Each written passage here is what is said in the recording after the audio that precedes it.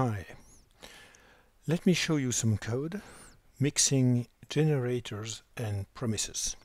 Here we want to compute the value of a portfolio of stocks with action from Microsoft, Apple, Amazon, Facebook and Google.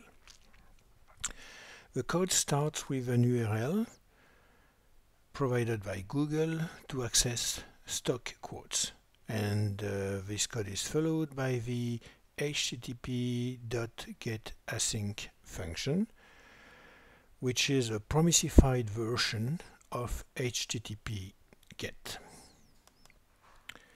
The helper function exhaust is common to all mixes of generators and promises.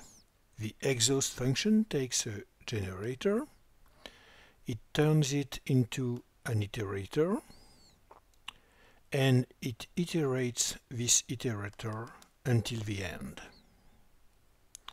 The generator should yield promises and exhaust attached sequels to these promises in order to resume the iteration. The real specific code is the portfolio generator.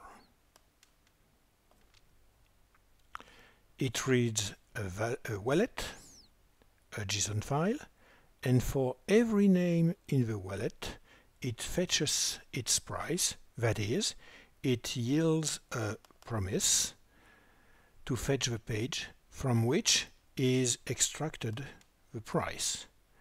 And then we update the total value of a portfolio. The exhaust portfolio expression returns a promise to which we attach sequels, then and catch to see the result. I have added traces throughout these functions to let you observe the ping-pong between getAsync, exhaust and portfolio. You can even use your favorite debugger to step in the code of a generator. However, the price to pay with this version of these functions is that everything is done sequentially. Stock prices could be fetched with more concurrency. This is not important with a small portfolio, but it will become a real burden if a portfolio contains thousands of stock.